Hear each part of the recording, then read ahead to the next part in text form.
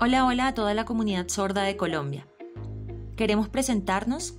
Me acompaña Francisco Chaux, miembro del Consejo Directivo de FENASCOL, y yo soy la vicepresidenta del Consejo Nacional de Juventud Sorda CNJS. Por favor, Francisco, cuéntales a todos dónde estamos y con qué objetivo estamos participando en este espacio. Bueno, estamos en Cartagena con representantes del sector discapacidad como personas con discapacidad visual, física, cognitiva y otras en la reunión de Riadis, donde estamos tratando tres temas muy importantes. Trabajo, igualdad y justicia.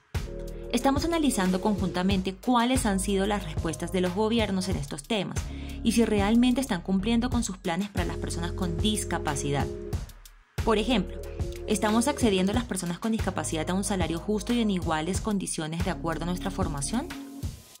¿Hay igualdad en la participación y acceso de las personas con discapacidad? ¿O en justicia?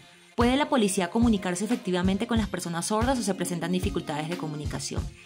Estas y otras situaciones están siendo analizadas en esta reunión, y no solo desde la perspectiva de la población sorda, sino con una mirada integral desde todas las discapacidades, buscando propuestas de solución para presentarlas en el reporte que será enviado a Noruega el próximo año 2022. Esto para el cumplimiento de los objetivos de la Agenda 2030, como lo es, por ejemplo, poner fin a la pobreza extrema y lograr sociedades más equitativas.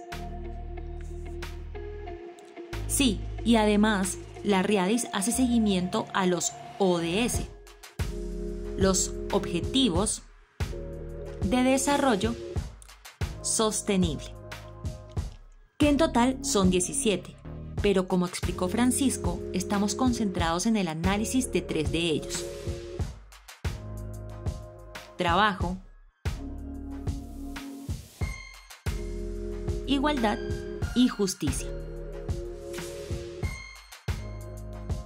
Con una mirada desde la discapacidad, nos reunimos representantes de diferentes organizaciones y entidades, identificando las situaciones recurrentes y particulares en relación a estos temas.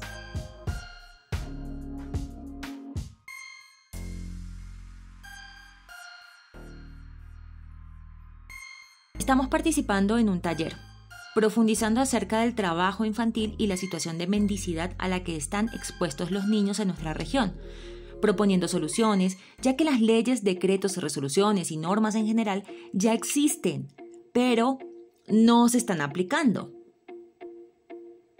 Eso es lo que estamos haciendo en este momento. Bueno, compartimos con ustedes información de este taller que estamos realizando hoy y mañana seguiremos informando más en un segundo video. Gracias, chao.